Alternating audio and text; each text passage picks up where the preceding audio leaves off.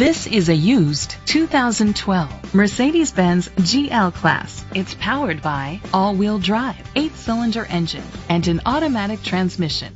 The features include a power sunroof, electric trunk, COMAND system, heated seats, Bluetooth connectivity, digital audio input, steering wheel controls, a premium sound system, dual temperature controls, automatic climate control. Safety was made a priority with these features. A backup camera, curtain head airbags, side airbags, second and third row head airbags, rain sensing wipers, independent suspension, brake assist, traction control, stability control, a passenger airbag.